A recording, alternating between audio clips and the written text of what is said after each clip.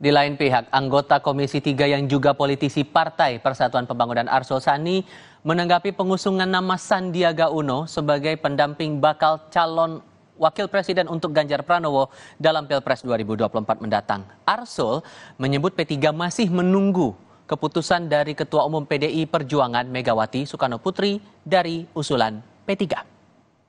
Mas Ganjar dan Pak Sandi dan tentu pasti ada pembicaraan politik. Cuman kalau pembicaraan politiknya apa kan uh, hanya mereka lah yang tahu. Yang jelas memang uh, posisi P3 secara resmi mengajukan Pak Sandi Uno itu sebagai cawapresnya Mas Ganjar ya.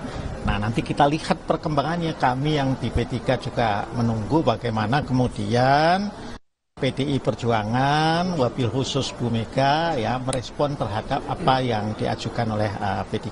Ya.